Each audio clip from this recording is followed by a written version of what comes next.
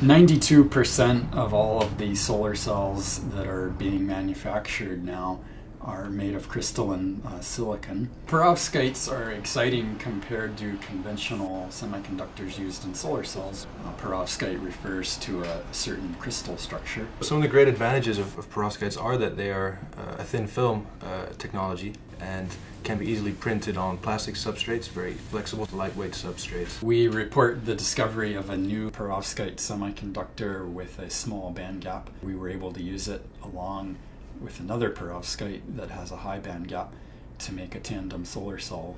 Uh, one of these solar cells absorbs high energy photons, so that's blue and green uh, light. It uses this to, to generate a high voltage. And then the, the second solar cell, uh, which has a much smaller band gap, absorbs lower energy light, such as the red and the infrared.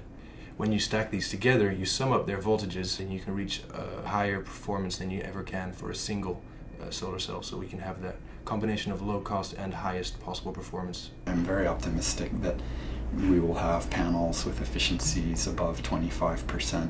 We already have 20% when these materials are optimized. We're going to be able to get a world record efficiency of 30% in uh, three to five years.